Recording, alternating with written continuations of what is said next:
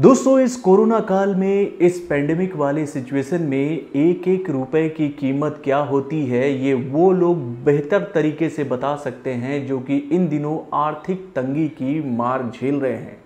और दोस्तों, इत्तेफाक से उन लोगों में से मैं भी एक हूँ। दोस्तों, आप लोगों को याद ही होगा कि जब हाल फ़िलहाल में मेरी तबीयत ख़राब हुई थी, यानी कि जब मुझे कोविड हो गया था और उसके बाद जब मैं हॉस्पिटलाइज हो गया था तो मेरी आर्थिक हालत बहुत ही बदतर हो गई थी।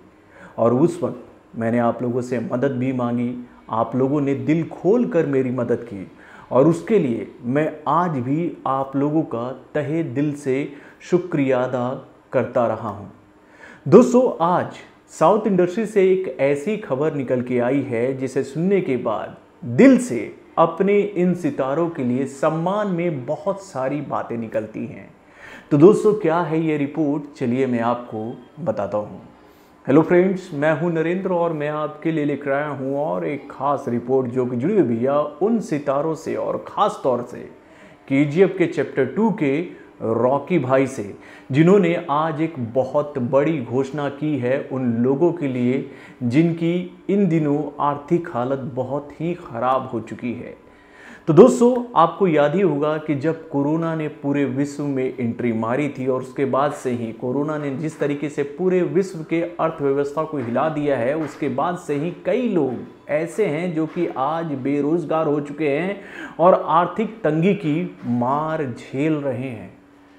तो दोस्तों, आपको याद ही होगा कि जब 2020 में हम लोगों के सामने ये खबर आई थी कि भाई बॉलीवुड के खिलाड़ी कुमार ने कैसे कैसे लोगों की मदद की और उसके साथ पीएम केयर फंड में उन्होंने 25 करोड़ रुपए दान किए। उसके बाद सलमान खान को लेकर ये खबर आई थी कि उन्होंने, भैया, बॉलीवुड में काम करने वाले तीन हज़ार डेली वेजेस मजदूरों के जिम्मेदारियों को अपने कंधे पे ले लिया था। यानी कि, भैया, उन्होंने फैसला लिया था कि वो इन लोगों की आर्थिक मदद तब तक करते रहेंगे जब तक कोरोना काल हमारे देश में रहेगा लॉकडाउन लगा रहेगा और सलमान खान ने आगे बढ़कर इन लोगों की मदद की।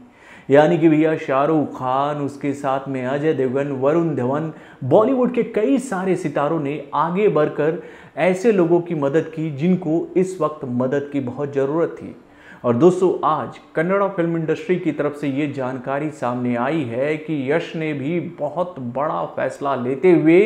तीन हज़ार डेली वेजेस मजदूरों की मदद करने के लिए आगे आ रहे हैं।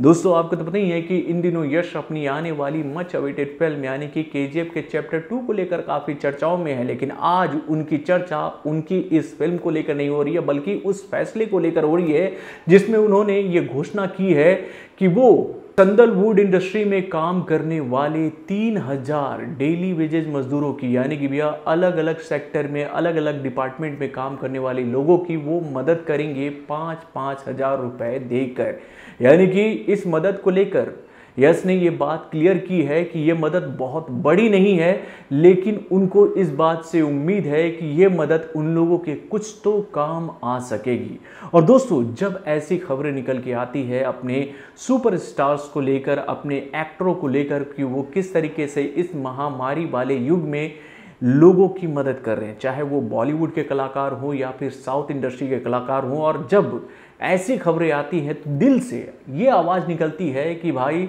सम्मान में ऐसे लोगों के लिए हम ये तो कह सकते हैं कि सैल्यूट है सर आप लोगों को कि आप लोग इस कोरोना काल में, इस पेंडेमिक सिचुएशन में उन लोगों की मदद कर रहे हैं जिनको आज मदद की बहुत ज़रूरत है। तो बॉलीवुड से जुड़े और कन्नड़ फ़िल्म इंडस्ट्री से जुड़े हुए और भी कई सारे खबरों को जानने के लिए हमारे चैनल वारनू जंक्शन को लाइक सब्सक्राइब करना ना भूलेगा और हमारे अपडेट्स को जानने के लिए बेल आइकन को ज़रूर दबाइएगा।